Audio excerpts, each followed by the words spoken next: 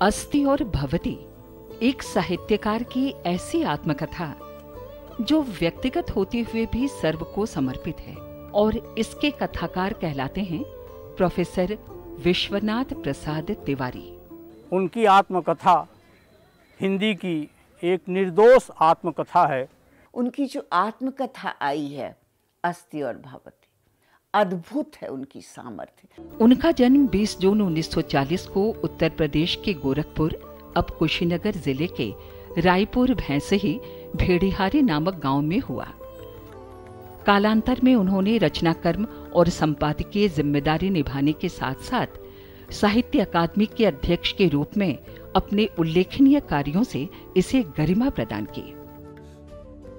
Professor Vishwanath Prasad Tiwari का रचना संसार बहुत विस्तृत है। कविता, आलोचना, शोध, यात्रा संस्मरण, डायरी, आत्मकथा जैसे विविध विषयों पर 50 से भी ज़्यादा पुस्तकें हिंदी साहित्य की धरोहर हैं।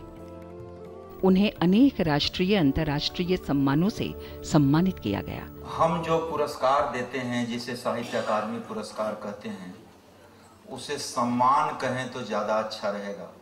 प्रोफेसर विश्वनाथ प्रसाद तिवारी जी के व्यक्तित्व कृतित्व का एक उदात्त पक्ष है।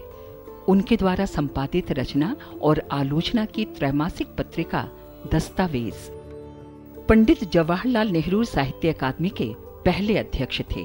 तिवारी जी बारहवें अध्यक्ष। The way he has built the personality of Gandhiji in paper, you know, it was really wonderful thing. साहित्य अकादमी की हिस्ट्री में एक उसको हमेशा याद किया जाएगा। माँ हमें ढाढ़स देती घर में आग है तो कोई नहीं आ सकता भूत प्रेत। उन्होंने जो कार्य किया है वाकई उसको सराहनीय नहीं बल्कि ऐतिहासिक कहना चाहिए। हमने देखी मन की जाने कितनी गांठें इच्छाओं की जख्मी पाखें। कह सकते हो तुम हमने इस धारा को अपवित्र किया है। ज्ञान भी उसका उत्कृष्ट कोटि का है और उसका ज्ञान का संक्रमण भी जिसका उत्कृष्ट कोटि का है, वही शिक्षकों में सर्वश्रेष्ठ माना जाता है। यही स्थिति आचार्य विश्वनाथ प्रसाद तिवारी की है। कोई झपटेगा पासबुक पर, कोई ढूंढेगा लाकर की चाबी किसी की आँखों में चमकेंगे खेत, किसी में गड़े हुए सिक्के हाय हाय समय, बूढ़ी दादी से उदास हो जाएँगी पुस्तकें। मैंने कभी किसी को पूछने पर भी यह नहीं बताया कि मेरी फला किताब पढ़िए। लेकिन अब जब कोई पूछता है तो मैं कहता हूँ, मेरी आत्मकथा पढ़ लीजिए।